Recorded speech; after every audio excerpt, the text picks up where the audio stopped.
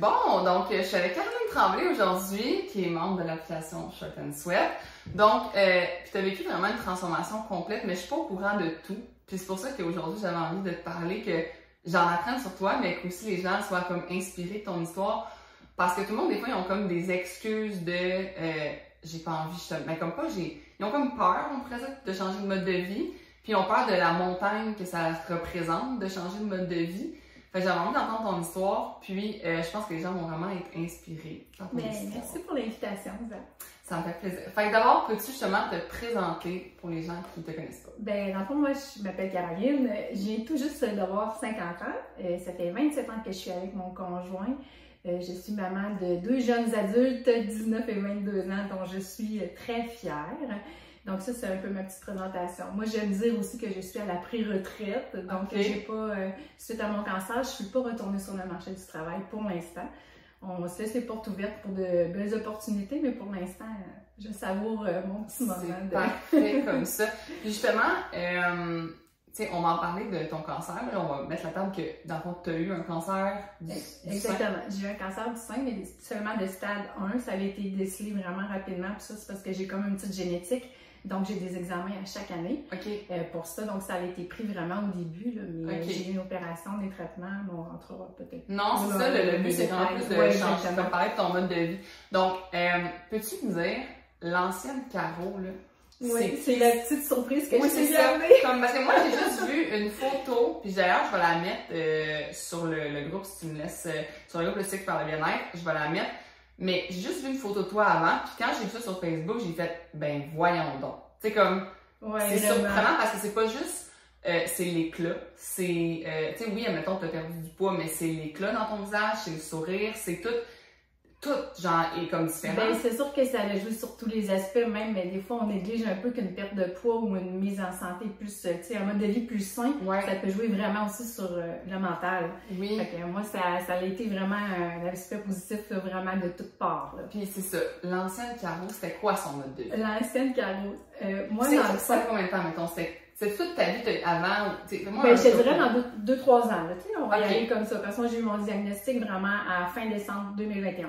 OK. Fait que c'est vraiment, euh, c'est là que j'ai eu mon diagnostic de cancer. Mais moi, avant, dans mon ancienne vie, euh, j'étais assistante gérante dans un restaurant de fast-food. Que je ne oh, nommerai pas la chaîne en particulier. Bon, et je travaillais 60-65 euh, heures par semaine. Oh, et je ne me préparais jamais de lunch. Donc, si tu fais mangeais du fast-food à chaque jour? Je mangeais du fast-food au moins 5 jours semaine sur 7. Puis des fois, je travaillais de 11h à 7h le soir. Donc, je prenais mon dîner et mon souper de fast-food. Oh fait que ça donne une idée que je pars de très loin, là, tu sais. moi, j'ai jamais juste pensé au manque de nutriments, genre. Parce que c'est pas grave de manger du fast-food, mais c'est comme. de temps en temps, le manque de vitamines, le manque de minéraux, le manque de tout. Le manque de tout. Ouais, c'est ça. Puis, Admettons, est-ce que avant, tu comme tu travaillais là depuis combien de temps? Depuis... Ben, j'ai toujours travaillé en restauration. Donc, tu sais, avant d'être assistante gérante, euh, j'étais caissière. Ouais. J'ai toujours monté. Fait que j'ai toujours travaillé en restauration. Puis ça a toujours été dans la restauration rapide. Fait que combien de temps t'as eu ce mode de vie tout le temps, genre? Ben, quand même, oui, un bon, un bon okay. 10 ans, certain. OK. Euh, OK.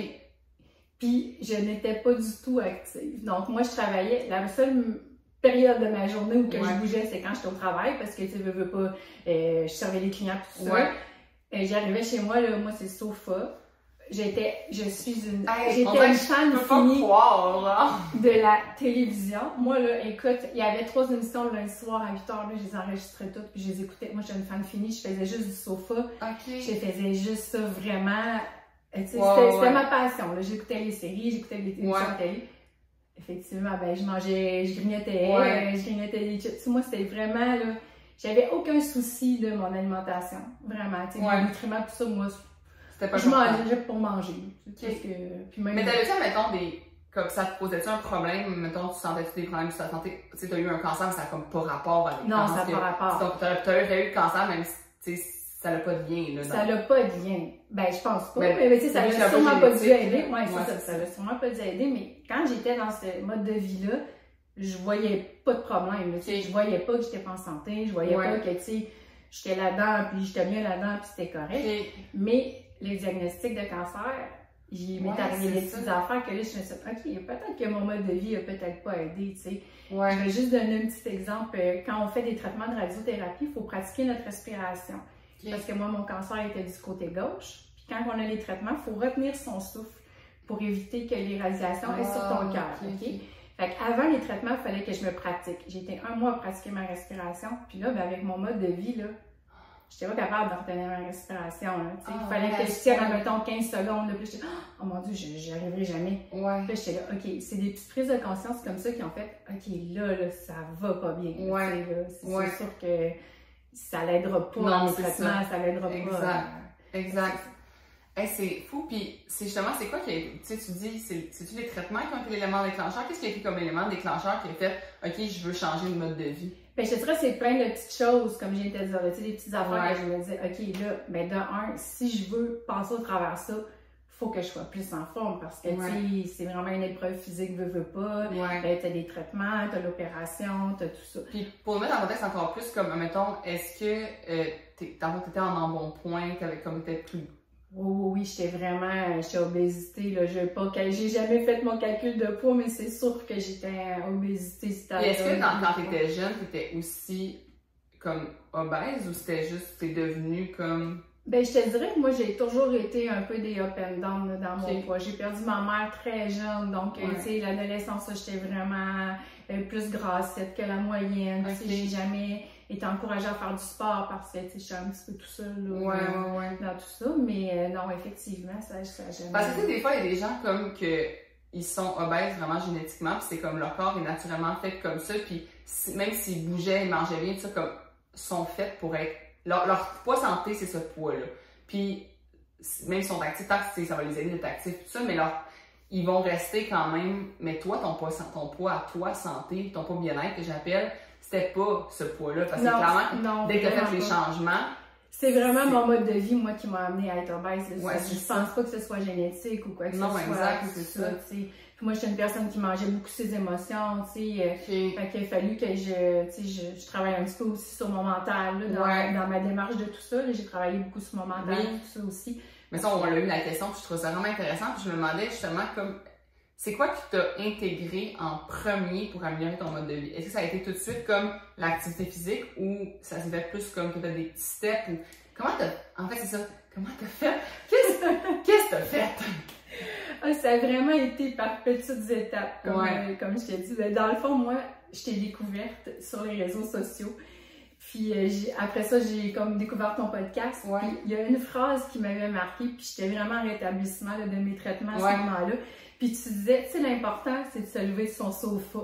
Peu importe ce que tu fais. Toi, t'étais une fille de sofa. Moi, j'étais une fille de sofa. Je suis assise dans mon sofa. tu sais, OK. Puis tu disais vraiment, peu importe ce que tu fais, l'important, c'est de te lever et de bouger. Et ça, ça m'a tellement allumé, puis honnêtement, c'est ce qui a changé. Ah ouais? C'est le déclic que j'ai eu pour me prendre en main. Je me suis dit, OK. j'ai des frissons. Je te le dis, j'ai des frissons par genre ma... Je te jure, c'est la phrase. tu sais, le mot sofa, j'étais comme, mais voyons, c'est, à moi. Ben, ouais, effectivement, c'est à moi qu'elle parle, c'est sûr et certain, là, ouais. Fait qu'à partir de ce moment-là, j'ai dit, OK, je me lève de mon, de mon sofa. Ouais. Ça pourrait être une marche. Moi, ça a commencé comme ça. Ouais. Je me suis de mon sofa, j'ai dit, OK, je faisais le petit tour dans ma, de mon petit quartier. OK. En marche. Hop, là, ben, on va rajouter un petit peu. Fait que ça, moi, c'est allé progressif. Ouais. Puis là, après ça. Mais c'est important, ça, de comme pas se dire, oh, je vais aller faire euh, six entraînements, puis, euh, tu sais, les challenges que le monde en bas, qui disaient que ça va changer ma vie. C'est ben, impossible. Ça va marcher peut-être 30 jours, mais c'est impossible d'y aller aussi intense que ça. Comme moi, mettons, je sais pas c'est quoi partir à ce point-là de, de loin, mais quand j'ai commencé à m'entraîner, je faisais des entraînements de 30 minutes, trois fois par semaine, puis pour vrai, au début, je voulais vomir. Là.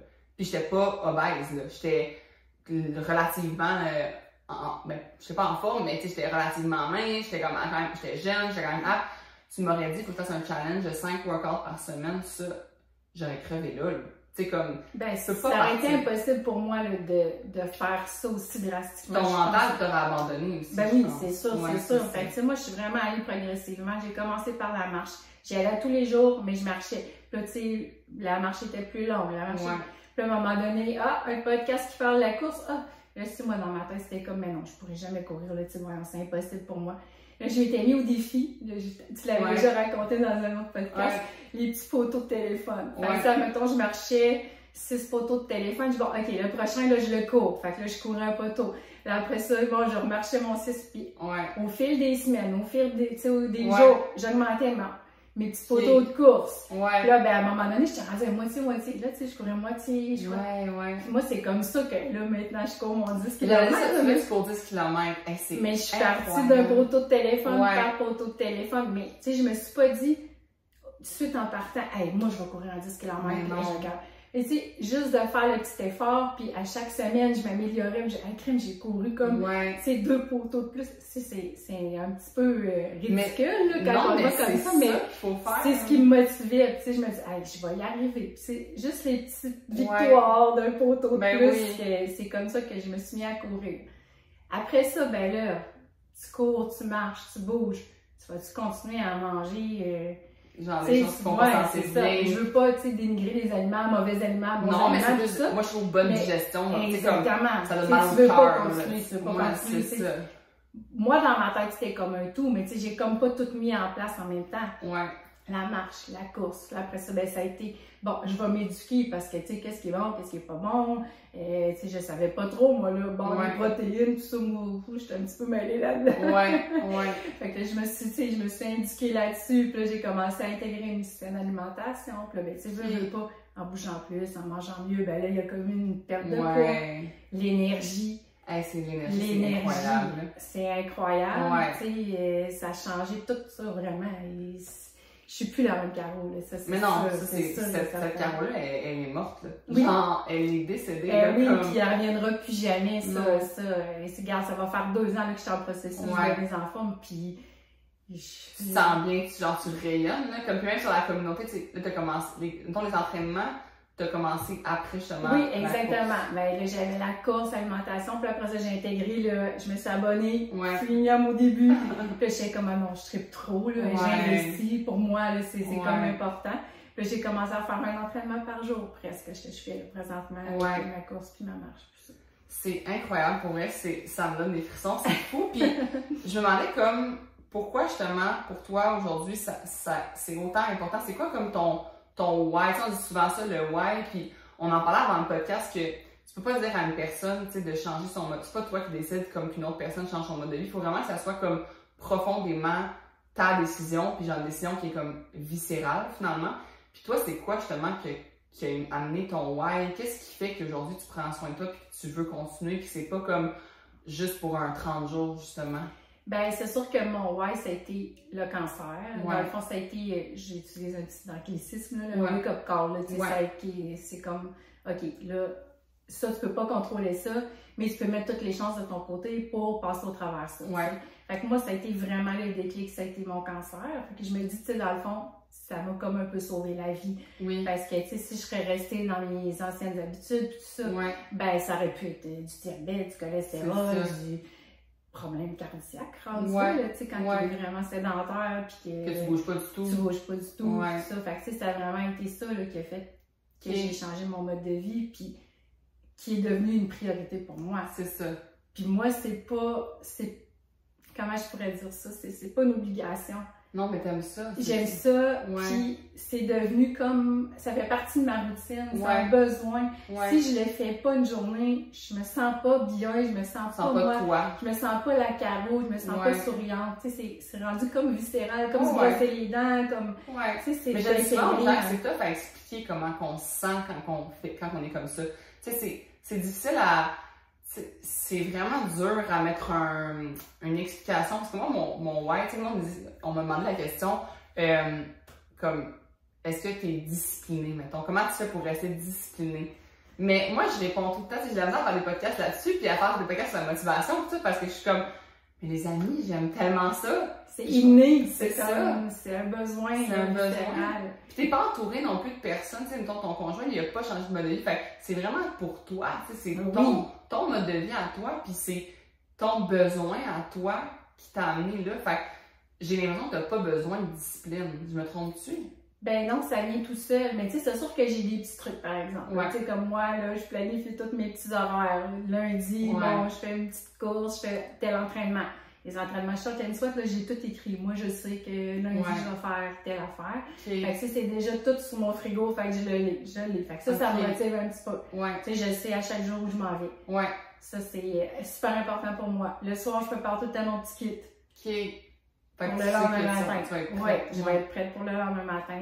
J'ai toujours en tête mon why. Pourquoi je le fais? Ouais. Tu sais, parce que les matins, ça ne me tente pas. Là, ben oui. C'est normal. Là. Je suis pas parfaite. Là, tu sais. Les matins, t'en faisais des TikTok qui pleut, genre, oh. c'est comme, ah, oh, ça, ça me tente oh, pas. Oh non, non, ça me tente pas. Mais tu sais, ce matin-là, j'ai refermé la porte parce que c'était le déluge. Je me disais, oh, non, je suis pas vrai, je vais aller courir. Ouais. Mais j'avais encore mon besoin qui était là. Fait que, tu sais, je regardais tout le temps dehors. Je disais, ah, là, je pense que. Ouais, ouais, je vais être ouais, c'est ça. Fait que je garde tout le temps en tête mon why. Je le fais pour ma santé, je le fais pour moi, pour que je sois bien, pour que je passe une belle journée. Parce que si je ne fais pas ma journée, moi, c'est pas pareil. Non, c'est ça. Être, être impacté de ça. Être impacté de ça. Fait que ça, c'est mes petits trucs. Je planifie mes entraînements. Euh, puis, euh, tu sais, on se récompense de temps en temps. Ben oui, ben oui. Moi, j'ai la planification, je trouve vraiment que c'est la, la, clé, parce que même, tu sais, on a d'autres priorités dans la vie, de plein d'autres choses. Des fois, on a plein de choses qu'on a envie d'accomplir aussi, tu sais, comme Juste, c'est un exemple vraiment niaiseux, OK? Je suis en train de lire un livre que je vais vous recommander. oui, on aime ça. Ça s'appelle, c'est un roman, c'est en anglais, je sais pas si c'est traduit en français, mais c'est vraiment un gros best-seller, fait que peut-être. De Inmate, genre la, comme un prisonnier finalement, là. Puis dans le fond, c'est un roman comme qui est très, euh, tu sais, c'est euh, un thriller, tu sais, fait que c'est très, t'as envie de lire, t'as envie de lire. Mais moi, ce matin, je voulais tellement le finir, mais en même temps, je voyais le beau soleil dehors, puis je sais qu'aujourd'hui, je serai pas super active niveau comme, tu sais, je m'entraînerai pas, euh, je ferai pas de, de, de course parce qu'on a une grosse journée euh, aujourd'hui.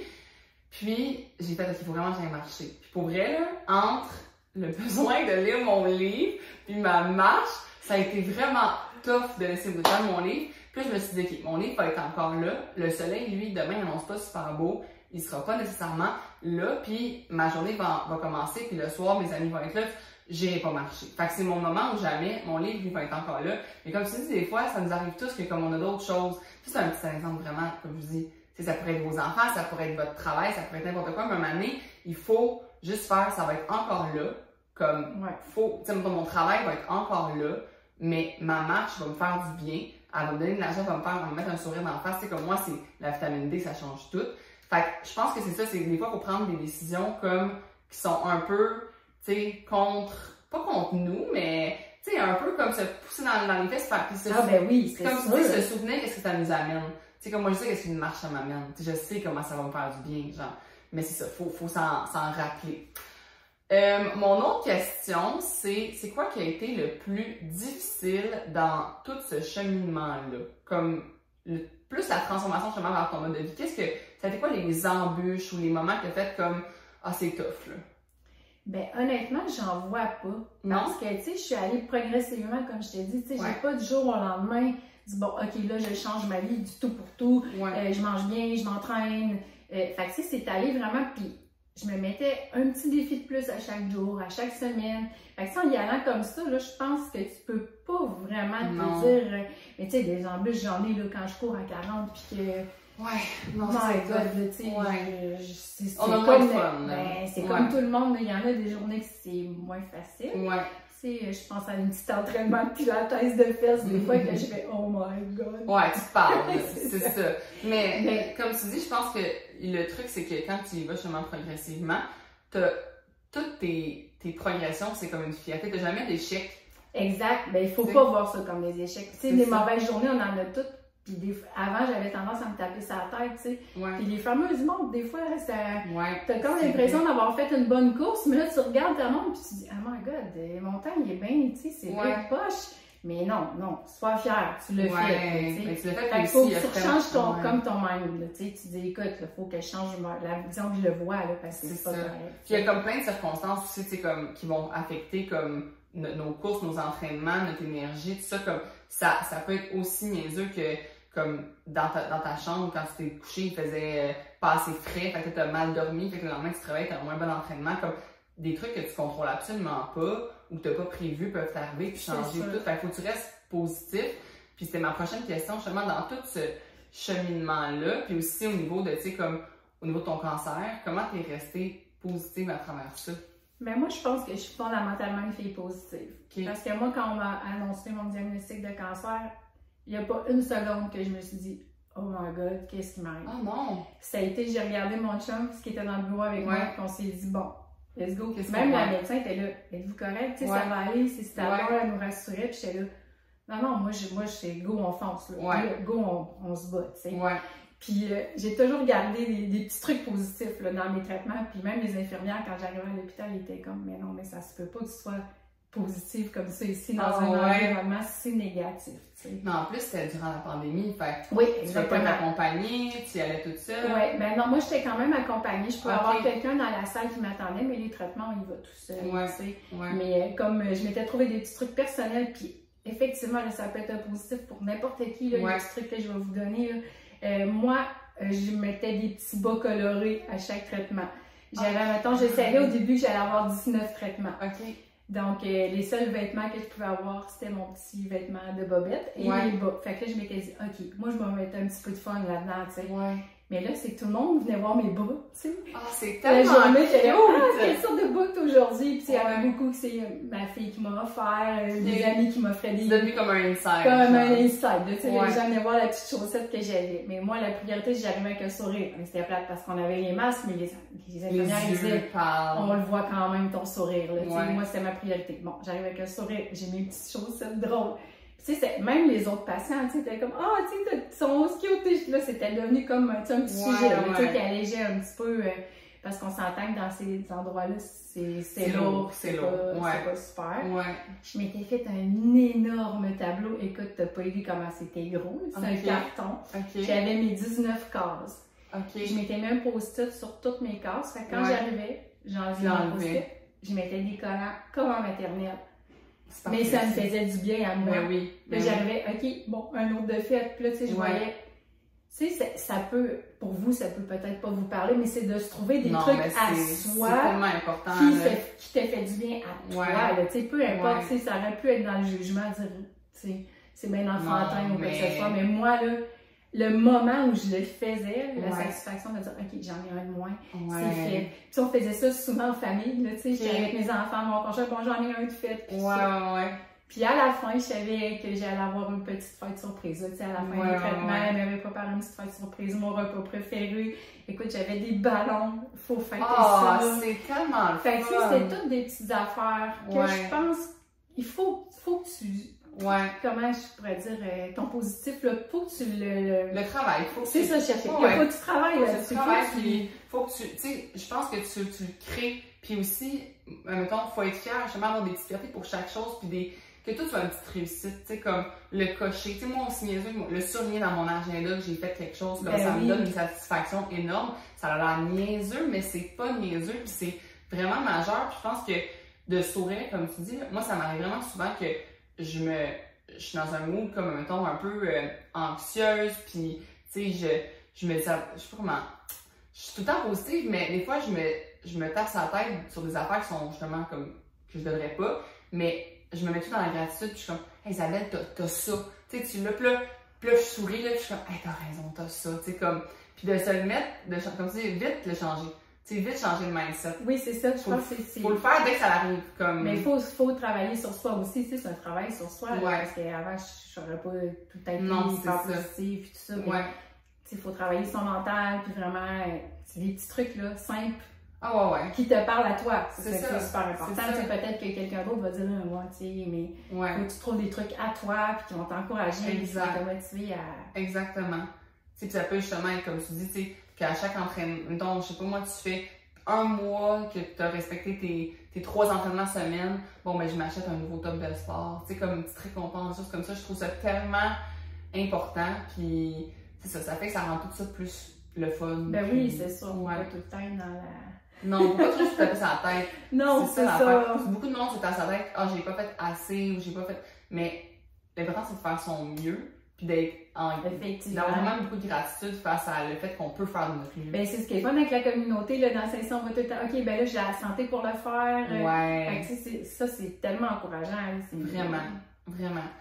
Euh, ma prochaine question. Quelqu'un m'a demandé, je trouve ça vraiment intéressant.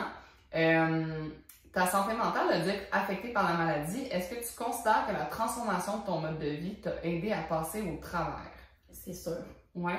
C'est sûr et certain. Puis moi, euh, je cours pas ou je marche pas le matin ou je m'entraîne pas, là.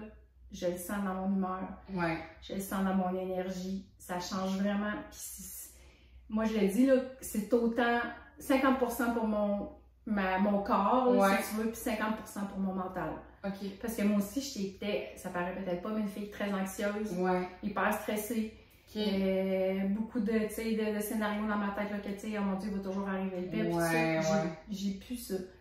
Fait que ça a changé aussi. Ben, c'est sûr, j'ai travaillé aussi. euh, Ouais, on travaille sur notre sur mental. notre euh, mental aussi. ouais, mais c'est vraiment un tout. Là. Tu, travailles ton physique, tu travailles un petit peu ton mental. Ouais. euh, ça, a été, ça a été vraiment ça. là. Ça, ça a changé là, sur les deux aspects, physique et mental. Ouais.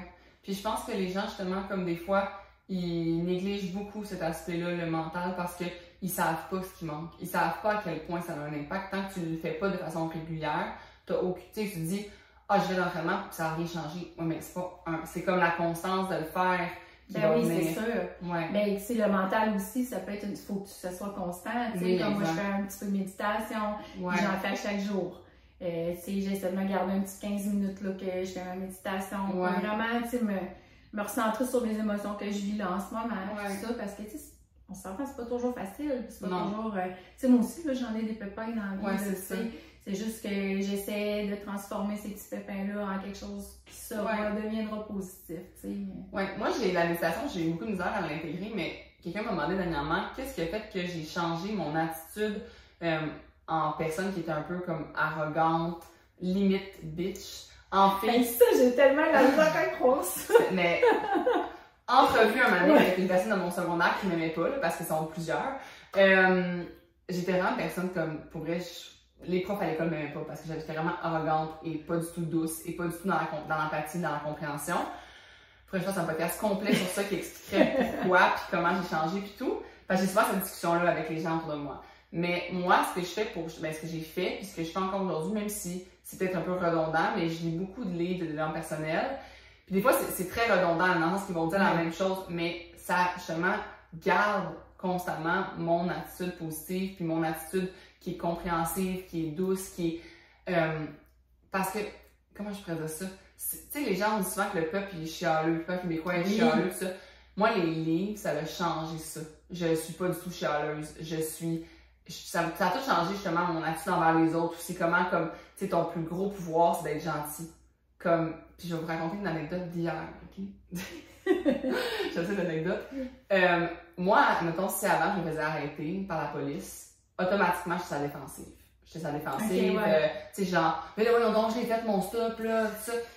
Hier, euh, je me suis arrêter par la police, OK? C'est vrai que mon stop, je l'ai fait un peu trop vite. Je l'ai fait, mais un peu trop vite. Il m'arrête, puis il me dit Ah, on a eu beaucoup de plaintes dans le quartier parce que les gens font pas leur stop, tout ça. Puis j'ai répondu, j'ai dit Hey, j'ai bien raison, moi je trouve dans, ce dans le quartier ici, là. Puis j'ai dit Ça aurait été mon genre de faire une plainte parce que comme les gens font pas leur stop, tout ça. J'ai donné mes papiers, puis j'ai dit euh, J'ai dit, pour être comme tu fais un bon travail, genre c'est une bonne chose. Mais il est revenu, puis il a dit Juste parce que t'as compris, et je donnerai pas de ticket.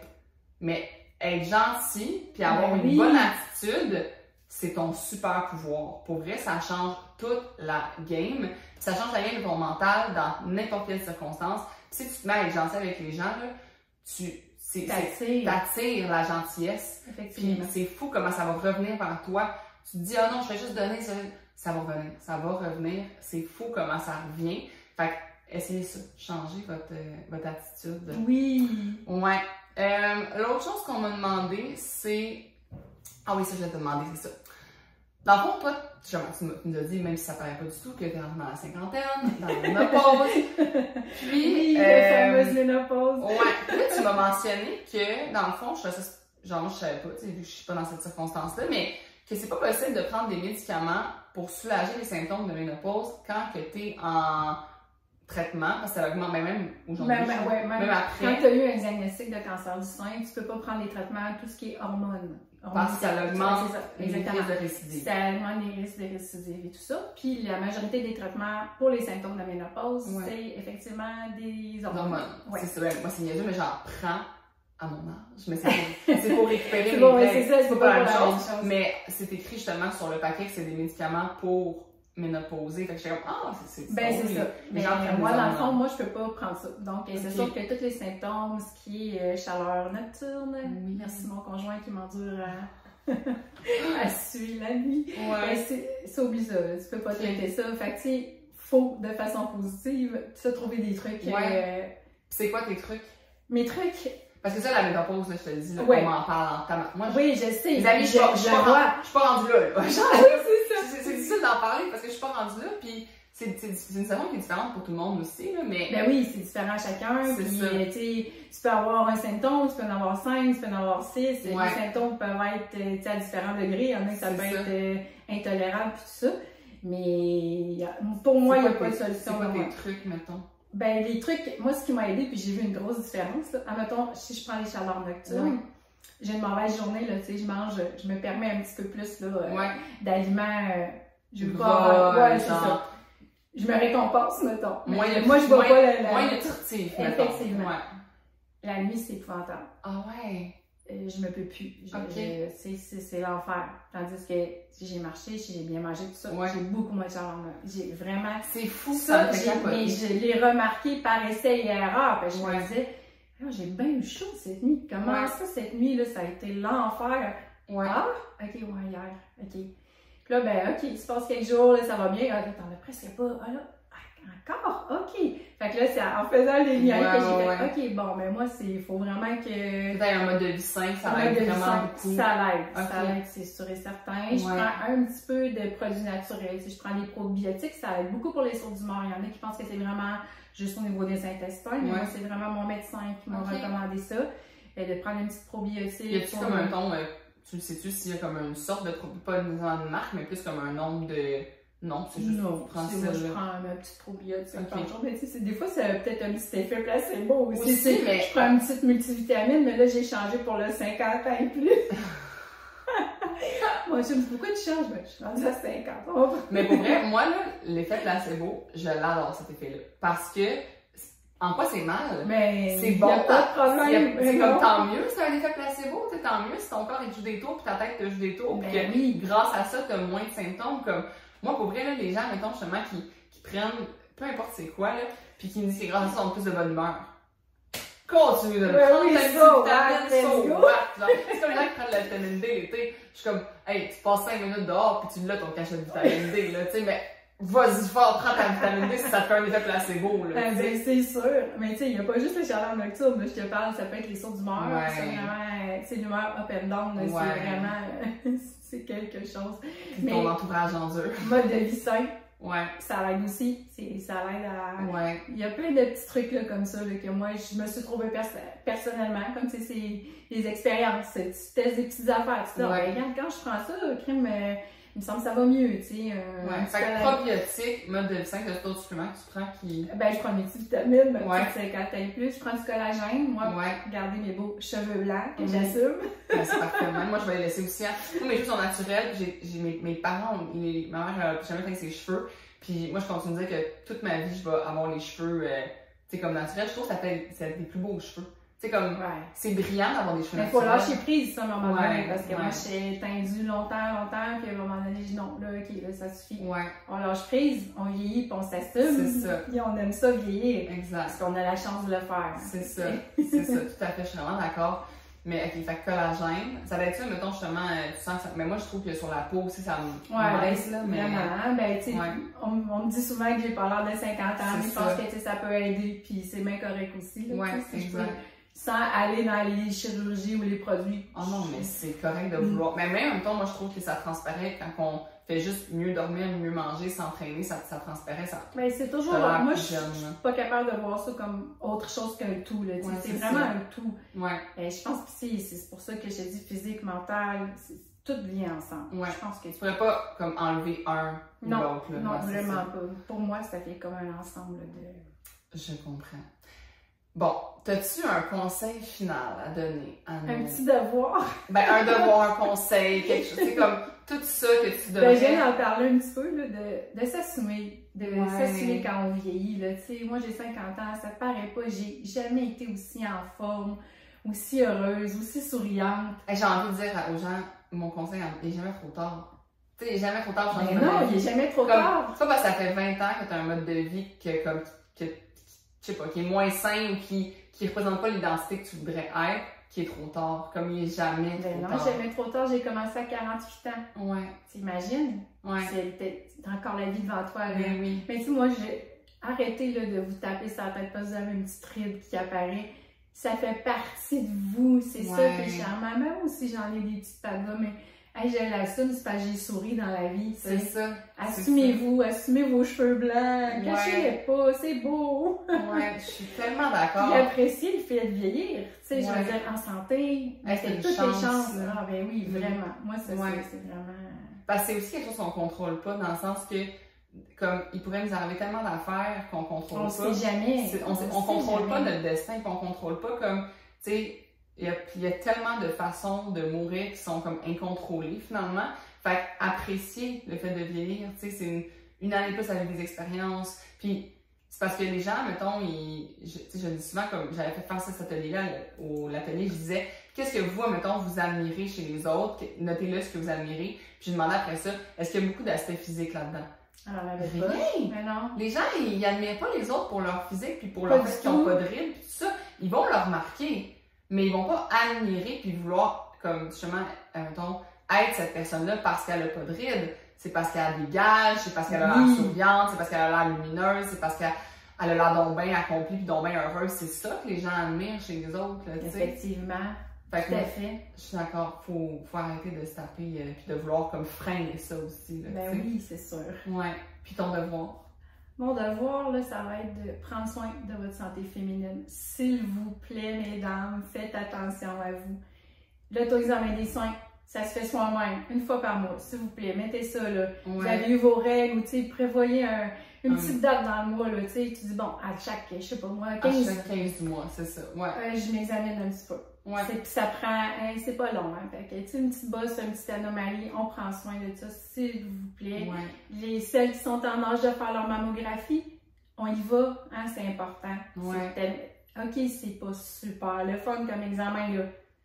Mais moi, si j'avais pas eu ça, tu serais rendu plus loin dans le Ben, exactement. J'aurais peut-être été un stade 4, un stade, mais là, moi, c'est au début, c'était précancéreux. Fait que, ça, ça m'a sauvé la vie aussi. On fait nos mammographies, examen des seins, gynécologue, mm-hmm. c'est examen annuel.